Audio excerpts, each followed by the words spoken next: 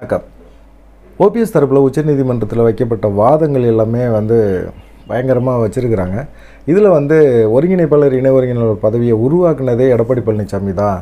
அந்த பதவியை உருவாக்கிட்டு அவரே வந்து அந்த பதவி காலாவதி ஆயிடுச்சுன்னு சொல்கிறது எந்த விதத்திலும் ஏற்புடையது அல்ல அப்படின்னு சொல்லி ஓபிஎஸ் தரப்பில் வாதம் வச்சுருக்கிறாங்க. ஒருங்கிணைப்பாளர் இணை ஒருங்கிணைப்பாளர் பதவியை எப்படி உருவாக்குனாங்க அப்படின்னு பார்த்தீங்கன்னா ரெண்டாயிரத்தி பதினேழில் சசிகலா சிறைக்கு போன பிறகு பார்த்திங்கன்னா கட்சியில் ஒரு குழப்பமான ஒரு சூழ்நிலை உருவாட்டுச்சு முதலமைச்சர் பதவியில் இருந்த எடப்பாடி பழனிசாமிக்கு கட்சியை நம்பிக்கையில்லா தீர்மானம் கொண்டு வந்தால் கட்சி கலைஞ்சிருமே அப்படிங்கிற ஒரு எண்ணம் இருந்தது. அப்போ வந்து டிடி விதிநகரனும் அதிமுகலேருந்து வெளியேறிட்டார். ஓபிஎஸ் ஆதரவும் வெளியேறுகிறாரு. ஓபிஎஸ் ஆதரவு இருந்துச்சுன்னா நம்ம கண்டிப்பாக ஆட்சியை தக்க வைக்க முடியும் அப்படிங்கிறனால எல்லா அமைச்சர்களும் போய் ஓபிஎஸ்கிட்ட போய் பேச்சுவார்த்தை நடத்துகிறாங்க ஓபிஎஸ்ட்டு பேச்சுவார்த்தை நடத்தும்போது ஓபிஎஸ் ஓகே சொல்லிடுறார். அம்மாவோட ஆட்சி அம்மாவுக்காக விழுந்த ஓட்டு அம்மானால் தொடர் ஆட்சி. இந்த ஆட்சியை வந்து நம்ம எந்த காரணத்தையும் நம்மளால் கலைஞ்சு போயிடக்கூடாது அப்படிங்கிறதுல அவர் உறுதியாக இருந்தார். ஆனால் அவர் வந்து கேட்ட ஒரு விஷயம் வந்து பொதுச்செயலாளர் பதவியை எனக்கு கொடுத்துருங்க அப்படின்னு சொல்லும்போது அங்கேயும் எடப்பாடி பழனிசாமி ஒரு தந்திரம் பண்ணுறாங்க என்ன பண்ணுறாங்க அப்படின்னா இல்லை இல்லை நம்ம இந்த பதவியை வந்து இனிமேல் யாருக்குமே கொடுக்க வேணாம். நிரந்தர பொதுச் செயலராக அம்மாவை வேறு யாருமே நமக்கு வேணாம் அப்படின்னு நினைக்கும்போது ஓபிஎஸ் உடனே ஓகே சொல்லிடுறாரு. காரணம் என்னென்னா அம்மா நிரந்தர பொதுச் செயலாளர் இருந்தால் நமக்கு நல்லது தான் அப்படிங்கிற மாதிரி யோசிக்கிறார். சரி ஒருங்கி பொதுச் செயலாளர் பதவிக்கு இணையான பதவி ஒருங்கிணைப்பாளர் இணைப்பு ஒருங்கிணைப்பாளர் பதவியை உருவாக்குறாங்க. இந்த பதவியை உருவாக்கிட்டு இதுக்கு வந்து அடிப்படை உறுப்பினர்கள் முறையில் தேர்தல் பண்ணுறாங்க இதில் வந்து ஒத்துக்கிறாங்க. இப்போ வந்து என்ன சொல்கிறாரு இவர்? இந்த ரெண்டு பதவியுமே காலாவதி ஆயிடுச்சு. பொதுக்குழுவில் வந்து அங்கீகரிக்கலை அப்படின்னு சொல்லியிருக்காரு. ஜனநாயக முறைப்படி ஒரு கட்சியில் ஒரு பதவியை உருவாக்கிட்டால் அந்த பதவியை வந்து காலாவதி ஆயிடுச்சுன்னு சொல்லவே கூடாது அப்படிங்கிற மாதிரி ஓபிஎஸ் தரப்பு வாதம்.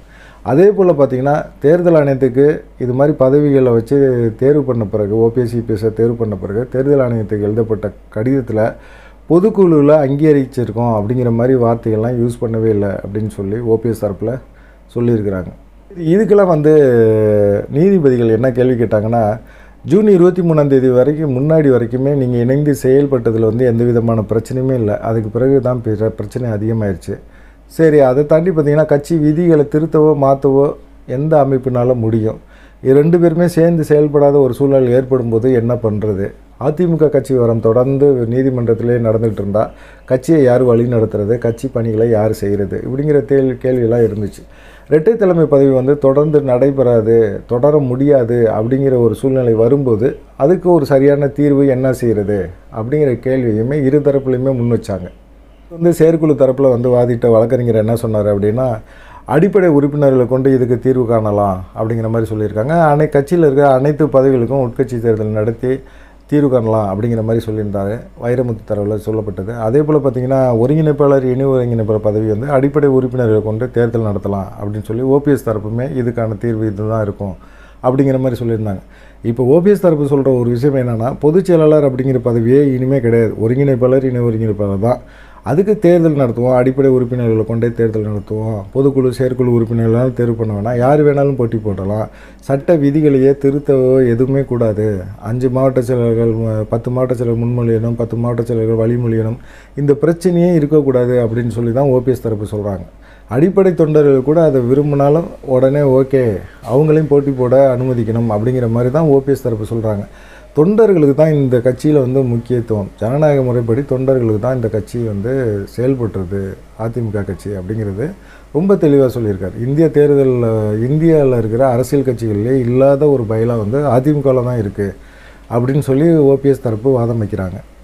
பார்த்தீங்கன்னா வேறு என்னதும் வேறு ஏதாவது கருத்து சொல்கிறீங்களா அப்படின்னு சொல்லி நீதிபதிகள் கேட்கும்போது பொதுக்குழு வந்து ரெண்டு பேரும் சேர்ந்து கூட்டலாம். அப்படி கூட்டுறதுல வந்து சிக்கல் இருந்துச்சு அப்படின்னா நீதிமன்றத்துக்கு வாங்க அப்படின்னு சொல்லி தனி நீதிபதி ஜெயச்சந்திரன் சொல்லியிருக்காரு அப்படிங்கிற மாதிரி ஓபிஎஸ் தரப்பில் வாதம் வச்சாங்க. இது ரெண்டு பேரோட கருத்துக்கும் பார்த்தீங்கன்னா தீர்ப்பு வர்றதுக்கு சாத்தியமே இல்லை அப்படின்னு சொல்கிறாங்க யாருக்காவது ஒருத்தவங்களுக்கு சாதகமாக தீர்ப்பு வரும் அப்படிங்கிறது சாத்தியப்படாது அப்படிங்கிற மாதிரி தான் சொல்கிறாங்க அதே போல் பார்த்தீங்கன்னா பொதுச்செயலாளர் தேர்தலை வந்து ஜூன் இருபத்தி மூணாம் தேதிக்கு முந்தைய நிலவரப்படி அதிமுக அடிப்படை உறுப்பினர்கள் மூலமாக தேர்வு பண்ணி தேர்தல் நடத்திக்கலாம் அப்படிங்கிற ஒரு சூழ்நிலையை உருவாக்குவாங்க இல்லை அப்படி ஒரு உத்தரவு போடுவாங்க அப்படிங்கிற மாதிரி சொல்கிறாங்க பொதுச் செயலாளர் இருந்தாலும் இப்போ வந்து அதிமுக ஒருங்கிணைப்பாளர் இணை ஒருங்கிணைப்பாளராக தொடர்றதும் அதை தாண்டி பார்த்திங்கன்னா சட்ட திட்ட மாற்றக்கூடாது அதிமுக பயிலாவை எந்த விதமான திருத்தமும் செய்யக்கூடாது. அதை தாண்டி பார்த்திங்கன்னா ஜூன் இருபத்தி மூணாம் தேதிக்கு முன்னாடி அதிமுக எப்படி இருந்ததோ அதே ஒரு சூழ்நிலையை உருவாக்கி அதுக்கு பிறகு வந்து யார் யார் போட்டி போட விரும்புகிறாங்களோ அந்த மாதிரி ஒரு சூழ்நிலை இருக்கும்போது பொது தே செயலாளர் தேர்தலை வந்து நடத்திக்கங்க அப்படிங்கிற ஒரு உத்தரவு பிறப்பிக்கிறதுக்கு வாய்ப்புகள் இருக்குது இந்த மாதிரி சூழ்நிலையில் சசிகலா என்ன செய்வாங்க அப்படின்னு பார்த்தீங்கன்னா சசிகலா வந்து இன்னும் அடிப்படை உறுப்பினராக தான் இருக்கிறாங்க. அவங்க கட்சியை விட்டு நீக்கலை கட்சியை விட்டு நீக்கவும் முடியாது அப்படிங்கிற மாதிரி சூழ்நிலையில் அவங்களும் வந்து பொதுச் செயலாளர் தேர்தலுக்கு போட்டி போடுவாங்க அப்படிங்கிற ஒரு சூழ்நிலை இருக்குது அவங்களும் இந்த தீர்ப்பை எதிர்பார்த்து தான் காத்துட்ருக்காங்க அப்படிங்கிற மாதிரி சொல்கிறாங்க பார்க்கலாம் இந்த பஞ்சாயத்து இப்போதைக்கு முடியாது அப்படிங்கிற மாதிரி தெளிவாக சொல்லிகிட்டு இருக்காங்க. பார்க்கலாம். என்ன நடக்கும் அப்படிங்கிறத பொறுத்திருந்து பார்ப்போம். நன்றி வணக்கம்.